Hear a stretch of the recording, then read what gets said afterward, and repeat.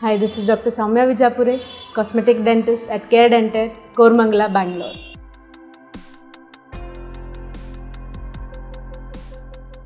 Pulp is the living part of the tooth that comprises the blood vessels and the nerves. It is responsible for all the sensations that a tooth can feel. Pulp acts as a security alarm system for the tooth. Whenever there is any infection towards the pulp, the pulp responds itself to the hot and cold. So, this is an indication that the pulp is getting injured. The injured or the infected pulp should be removed. Otherwise, the bacteria inside gets multiplying and the infection spreads to the other places. Since a pulp is an enclosed cavity, the pressure inside builds up and the patient feels the pain.